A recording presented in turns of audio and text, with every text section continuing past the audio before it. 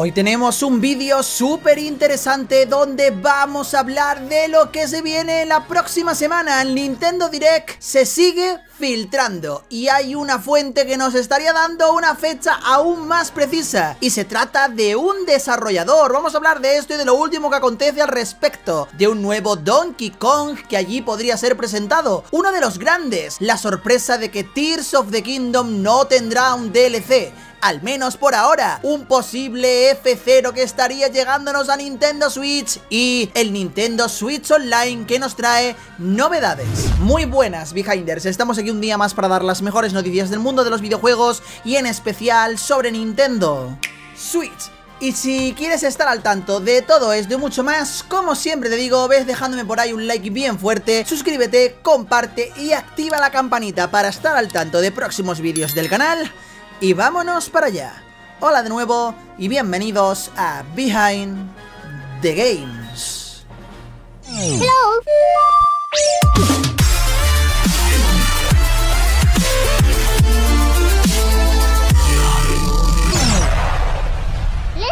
Vamos a comenzar con la primera noticia del día y es para el Nintendo Switch Online que recibe cuatro juegos nuevos de Game Boy Color y Super Nintendo y por supuesto también Nintendo. NES. Vamos a recibir novedades previas al próximo Nintendo Direct del cual vamos a hablar al final del vídeo. Lo que van a ser los últimos juegos así que van a llegar a estas consolas, quizás haya más más adelante, pero estamos esperando todo el mundo que se anuncie una consola virtual nueva. Por ahora nos siguen llegando estas cosas que nunca están de más.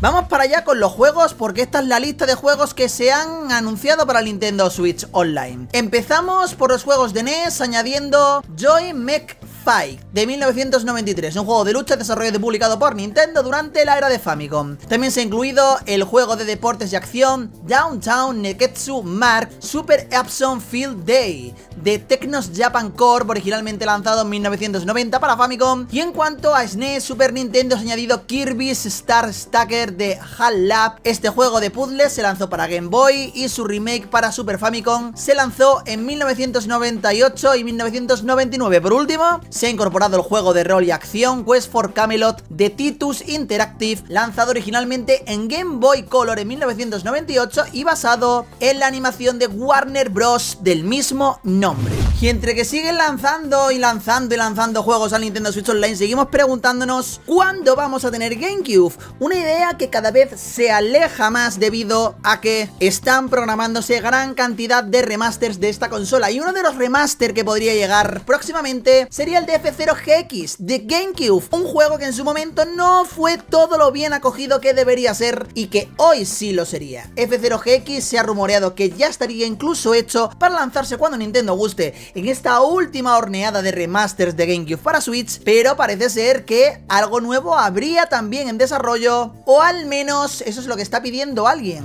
¿Y quién es ese alguien? El mismo productor de F0GX, Nagoshi, que mencionó que F0GX fue un proyecto significativo para él, donde aprendió a crear juegos de alta calidad para una base de fans apasionada. Señaló que estaría dispuesto a trabajar en otro juego de la franquicia, pero solo si Nintendo muestra interés. Dice que este es un título de juego muy nostálgico para él y que fue entonces cuando aprendió a crear un juego de alta calidad para satisfacer a todos los fans, que aprendió mucho y que le gustaría que hubiese alguna posibilidad y no le importaría trabajar en Este señor está insistiendo mucho en lo de F0. Quiero pensar que simplemente está lanzando a Nintendo siempre la pelota, ¿no? En plan de, oye, os lanzo la pelota, cójanla. O es que nos está constantemente diciendo, mira, que estoy haciendo un F0 nuevo, pero no lo puedo decir. Estoy deseando anunciarlo, pero no lo puedo decir. Quiero pensar que tiene que ser algo de eso, porque sería un poco raro que Nintendo decidiese lanzar uno nuevo, que es lo que yo creo que va a pasar, y no contasen con él. Eso sí, Habrá que ver el remaster, porque el remaster está claro que se viene de F0GX. Es uno de los grandes del catálogo de GameCube y no creo que Nintendo vaya a desaprovechar la oportunidad para que este juego vea también la luz, como lo están viendo los Metroid, como lo han visto los Pikmin y como van a seguir viéndolo muchos más juegos. Ahora habrá que ver de qué manera, qué tipo de remaster llega, si simplemente un lavado de cara HD, algo como Metroid. Seguiremos esperando, pero, repito, el productor de F0GX lleva ya mucho tiempo lanzando la pelota a Nintendo Y hay rumores que suenan muy, muy fuertes de que el F0GX ya está remasterizado para Nintendo Switch. ¿Que acabará saliendo? La pregunta es, ¿saldrá uno nuevo con el productor del F0GX? ¿Se habrán olvidado de él? ¿Realmente el productor no está haciendo una petición, sino que está diciéndonos entre líneas que hay un F0 en desarrollo? No sería la primera vez que un desarrollador expresa un deseo que acaba siendo un hecho, pero que no nos puede confirmar abiertamente. Y es que de verdad sería una saga muy buena que regresase. Creo que es una saga de carreras. Nintendo tiene muy pocos juegos de carreras realmente. Y creo que salvo Mario Kart, hace falta este toque más hardcore que da la saga F0. Evidentemente no es un juego de simulación. Bueno, sí, de simulación espacial. No, no como No Man's Sky o de simulación con rol como Starfield. No, no, no, no.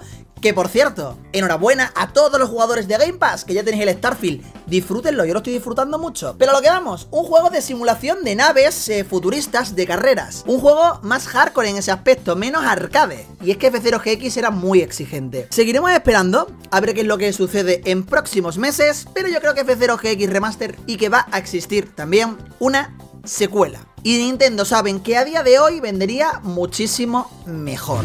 Como también funcionaría muy bien un DLC de Tears of the Kingdom, el cual se ha rumoreado incontables veces, incluso porque en la propia página del juego de Nintendo ponía algo así como compatibilidad con DLC, que luego se quitó, en fin, hubo mucha confusión, un texto que ya ha aparecido en muchos juegos que al final no han tenido DLC, muchas cosas que llevaron a pensar a todo el mundo que The Legend of Zelda Tears of the Kingdom iba a tener ese DLC. Un juego que además ha sido tan vendido que se le podría exprimir muchísimo, aunque no fuese un DLC muy extenso, pero sí, pues como lo, de las pruebas del Breath of the Wild. Sí es cierto que ya nos incluía el camino del héroe y muchas otras cosas ya de Tears of the Kingdom de serie. Sigo diciendo que se podría sacar un DLC, pero también es cierto que por otro lado pienso y digo, con la de contenido que tiene este juego, ¿realmente es necesario sacar un DLC? Si es que el propio juego ya es un DLC en sí, ¿no? Eso decían los haters. Pues tendré que creer creérmelo. Es lo que es, ¿no? ya sin bromas, menudo DLC se marcaron, ¿no? Pues bueno, yo creo que han hecho un DLC tan grande que no pueden hacer un DLC del DLC. XD, XD. Tendrán pues simplemente que hacer algo nuevo. Por ahora parece que no. Están pensando que no está en su cabeza hacer un DLC porque este juego tiene todo lo que ellos querían expresar. En otras palabras, creo que ha llegado la hora de decir adiós al Irule de Breath of the Wild. Una entrevista muy interesante a Eiji Aonuma y también a otra persona del equipo, a Fujibayashi, que nos han dicho cosas muy interesantes al respecto. En una entrevista a Famitsu se preguntan que ¿Cómo va a suceder todo esto? ¿Cómo va a ser el futuro de Zelda? Y le preguntaron por la próxima producción si va a ser una secuela algo nuevo u otra cosa, a lo que Fujiba Yashi responde que no sabe si esto va a llegar a pasar o no. Dice que estoy pensando sobre cuál será la próxima experiencia divertida, qué forma va a tener. Solo puedo decir que en estos momentos no lo sabemos, pero Aonuma creo que sí que tiene muy claro lo que va a ser. Y yo creo que Aonuma es el que marca realmente todo el modus operandi que sigue el equipo de Zelda. Aonuma sabe... Pelo... Lo que va a tener Zelda en el futuro. Y lo que no va a tener Tears of the Kingdom. Porque Onuma dijo lo siguiente, no hay planeado lanzar contenido adicional esta vez, pero porque siento haber hecho todo lo que puedo por crear juegos en este mundo. Primeramente, elegimos crear la secuela del juego anterior porque pensábamos que sería bueno experimentar un nuevo tipo de jugabilidad en este Irule. Si eso vuelve a suceder, puede que se regrese a dicho mundo de nuevo. Sea una secuela o un nuevo trabajo, creo que será una forma de jugar completamente nueva. Me alegraría que se esperara con impaciencia. Básicamente no quiere soltar prenda, pero lo que está claro es que este Irule yo creo que ya se da por finiquitado. Y creo que están ya centrados en la preproducción del próximo Zelda, en ir planificando, en ir viendo lo que hacen. Y sinceramente creo que todo lo que tenían que exprimir de este Irule ya lo han hecho, es lo que ellos sienten. Y es que sí es cierto, o sea, con lo grande que es Breath of the Wild y lo mucho más grande que es Tears of the Kingdom, yo creo que realmente el equipo de Zelda quiere explorar ya nuevas cosas y quiere simplemente dejar estos juegos como están, que son grandes juegos. Hay que tener en cuenta que Tears of the Kingdom ya de por sí tiene el doble de contenido o el triple diría que el propio Breath of the Wild. A Breath of the Wild añadieron un DLC cuando a lo mejor no habría hecho ni falta un DLC para lo que añadieron. Pero es que a este le hace menos falta todavía. Es un juego enorme. Y Eiji Aonuma y Fujibayashi básicamente lo que nos vienen a decir es que, que no, que no creen que vaya a haber un DLC, que hay siempre la posibilidad de que se vuelva a usar este mismo mundo, pero algo me dice que no va a haber un tercer juego en este mismo Irule, creo que sería excesivo, creo que Iji Anuma está deseando hacer algo nuevo, siempre menciona al final de sus entrevistas que quiero hacer algo nuevo, que lo esperéis con muchas ganas, creo que el próximo Zelda va a ser algo completamente nuevo, un Irule completamente nuevo, con unas mecánicas de nuevo novedosas, eso sí, en un entorno abierto y aprovechando muchas de las cosas que Zelda Breath of the Wild y Tears of the Kingdom han dejado como legado no solo a la saga Zelda, sino a la industria de los videojuegos. Y bueno, no sé si será buena o mala noticia lo del DLC de Zelda Tears of the Kingdom, yo creo que es un juego enorme, que a día de hoy todo el que lo empezase en su momento puede seguir jugándolo y descubriendo cosas, no lo veo raro, aunque yo pensaba que iba a tener un DLC.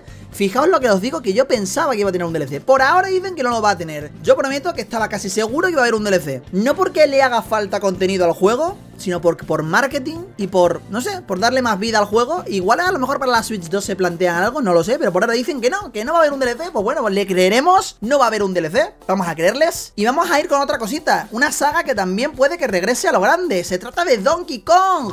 Y es que una personita que todo lo filtra y que todo lo acierta, nos ha dicho que Donkey Kong va a tener una nueva entrega. Que va a llegar un Donkey Kong grande. No va a llegar un Donkey Kong Country, no va a llegar un Donkey Kong en dos dimensiones, sino un Donkey Kong en 3D. No ha dicho mucho más, simplemente que muy pronto lo vamos a ver. Puede ser el Donkey Kong que cierre junto con Peach y este Mario en 2D la saga en Nintendo Switch o bien sea el que la abra en el próximo sistema de Nintendo. Estaría bastante curioso ver cómo en vez de salir un Super Mario saliese un Donkey Kong ambicioso en tres dimensiones. Rompería un poquito en Nintendo, pues más adelante te lanzarían el Mario. Podría estar muy bien lanzar un Mario Kart de salida y el Donkey Kong y más adelante lanzarte el Mario en tres dimensiones. Podría estar bastante, bastante bien y así Nintendo poder promocionar muchísimo este juego de Donkey Kong porque seguramente se venga también película de Donkey Kong más adelante y el personaje tendrá que ser bien promocionado. Yo creo, sinceramente, que va a haber un Donkey Kong en el próximo sistema. En este no lo veo. Aunque por otro lado se quedaría sin un Donkey Kong propio. Porque el Tropical Freeze ya sabéis de dónde viene. De Wii U aunque es un excelente juego, pero la Switch se quedaría sin un Donkey Kong propio, aunque hay que decir que es muy posible que también pudiese llegar. Ojito con esto, pero que va a haber un nuevo Donkey Kong, es lo que nos han dicho. Y agárrense, porque después de lo de Donkey Kong traigo lo último, lo último del Nintendo Direct de la semana que viene. Nos habrían dado un día exacto para el Nintendo Direct y tengo que recordar antes que ya hay varios insiders que han puesto encima de la mesa que la semana que viene va a suceder. Universo Nintendo ayer nos trajo la información, yo la traje o la trasladé aquí al canal. Jeff Graff también. Ha habido diversos insiders que también, como Pioro. Pues bien, ahora ha salido alguien que no es un insider, ha salido alguien que no es un filtrador, es un desarrollador. Un desarrollador ha salido a decirnos la fecha del Nintendo Direct. Directamente ha cogido y ha dicho, oigan, que estoy deseando ver mi juego en el Nintendo Direct. No ha dicho eso, solo le ha faltado decir eso, pero ha dicho algo que yo creo que es bastante revelador. Ojito con esto. El nuevo No Dates se anunciará la próxima semana. Probablemente será el jueves 14.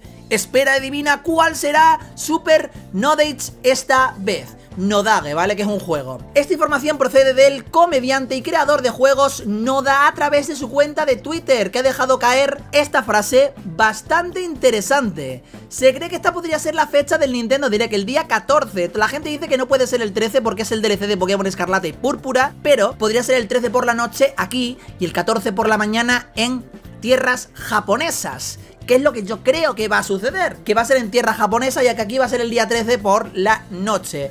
Ojalá sea así, porque si no uno de los grandes planes que tengo para ese día se me chafarían, sería algo muy importante para el canal, pero no podría moverme de aquí si hubiese un Nintendo Direct. Así que por favor, Nintendo, mm, de verdad, eh, voy a rezar a Satoru Iwata, por favor, Satoru Iwata. Haz que Nintendo ponga el Direct. Si es el 13 por la noche, por favor. Y si es el 14 por la noche también. Porque como fuese el 14 en todas las localizaciones... Estamos acabados, tendríamos que darnos aquí, pero oye, yo disfrutaría un montón el Nintendo Direct y la actualidad es lo que manda. Y vosotros, mi audiencia, también. Yo apuesto por lo que apuesto. 13 por la noche. Por la mañana en Japón. Esa es mi apuesta. A ver si este direct acaba siendo a las 11 de la noche aquí o no. Ya lo veremos. Yo sigo apostando por esa fecha. Es complicado, pero no imposible. Porque por un lado están diciendo que el 13, por otro lado están diciendo que el 14. Esta persona estaría diciendo que el 14 se anunciaría su juego. No ha dicho esto, pero es más que posible que se esté refiriendo a esta fecha. Evidentemente, porque es uno de los juegos que va a salir en Nintendo Switch. Y que se anunciase justo en esos días, que no sé, está el Nintendo Direct especulando. Está claro que algo va a suceder. Pokémon Escarlata y Púrpura al 13, sí se llevaría el Nintendo Direct al 14. Pero aquí puede ser perfectamente el 13 por la noche. Añadimos a esto que Jeff Graff dijo que veríamos en el futuro Direct más de Mario Wonder, Super Mario RPG, la versión de Switch de Luigi's Mansion Dark Moon, más del nuevo juego de Princess Peach y actualmente también tenemos que ver cómo está Detective Pikachu el regreso, WarioWare Move It y tenemos que añadir a todo esto que el remaster de Metroid Prime 2 se está especulando muchísimo y que habrá novedades independientes de The Legend of Zelda, pero, pero no sabemos qué novedades independientes de The Legend of Zelda va a haber. Porque si nos han dicho que no va a haber DLC, puede que estén Twilight Princess y Wind Waker al fin en Nintendo Switch. Pues yo creo que va a ser así. Haré un vídeo predicciones el día antes del direct cuando se anuncie. Recordar, también traeré a creadores de contenido aquí para debatir en directo. Pero haré un vídeo predicciones yo también, ¿vale? Cuando se anuncie Nintendo Direct. Pero yo creo, tengo el pálpito de que vamos a tener The Legend of Zelda Wind Waker y vamos a tener The Legend of Zelda Twilight Princess o para finales de este año o para principios del que viene. F0, como bien he dicho antes, y creo que Metroid Prime 2 en forma de Shadow Drop, de ya disponible, va a estar también, y ojalá fuese el remaster currado como ha sido el de Metroid. También Pioro nos ha dejado este mensaje que casi se me pasa a transmitiros, respondiendo al tuit de Universo Nintendo, donde nos ponían que la nueva presentación del Nintendo Direct debería tener lugar la próxima semana. El rumor que os traje ayer, la filtración. Pues bien, Pioro, este señor que ha filtrado todo, literalmente todas las filtraciones que él ha dicho, han sido 100% reales, tiene que tener algún tipo de contacto, pone lo siguiente, dado que mi tío que trabaja en YouTube puede ver todos los vídeos privados de Nintendo, incluido el vídeo de anuncio inexistente de Everybody Want to Switch, también debe tener acceso al próximo Direct no precargado, pero transmitido en vivo. Los ninjas lo atraparán la próxima semana. Es como un comentario un poco ahí, no como con chascarrillo. Aquí Necrolipe ha puesto dudo que tu tío sea un pájaro a prueba de ninjas. Y mucha gente está aquí pues bromeando un poquito. Gente diciendo que no sé si esto es una confirmación o una desconfirmación. Veremos a ver lo que sucede. Pioro ha dejado este mensaje bastante curioso. Como siempre, Pioro es un tío que hay que tenerle muy en cuenta. Tiene algún tipo de contacto, no sabemos cuál es, pero no sé cómo tomarme este tweet, si es irónico, si no es irónico, no lo sabemos. Yo creo que sí que va a haber Nintendo Direct la semana que viene, de hecho el propio Pioro dio like, ya lo dijimos hace unos vídeos atrás, a varios tweets donde mencionaban lo del día 13. Así que veremos, pero por ahora tiene que traeros este mensaje tan curioso del señorito Pioro. Ahora vuestra opinión de dejarme aquí abajo en la cajita de comentarios lo que opináis al respecto de todo esto. La semana que viene se avecina loquísima. Este es el último vídeo yo creo que voy a traer así de rumores esta semana, porque allá el resto va a ser un desierto, vamos a ver qué noticias van surgiendo, van a cesar los rumores seguramente a partir de mañana, y hay un silencio absoluto hasta la presentación, el anuncio del Nintendo Direct próximo, que sería seguramente el lunes o el martes, dicho anuncio. Sin más, aquí me despido, espero que os haya gustado este vídeo de hoy y no se olviden, como siempre digo, de dejar un like bien fuerte, de suscribirse, de compartir y de activar la campanita si quieren estar al tanto de próximos vídeos del canal y por supuesto también recordar que por aquí os dejo otro vídeo para ver y que por aquí os dejo el botoncito de suscribiros. Yo por hoy me despido. Visitad también las redes sociales aquí abajo y el link a Neva me la línea de descripción para comprar juegos digitales muy baratitos. Y recuerden que les espero por aquí con más y mejor en la próxima entrega de Behind the Games.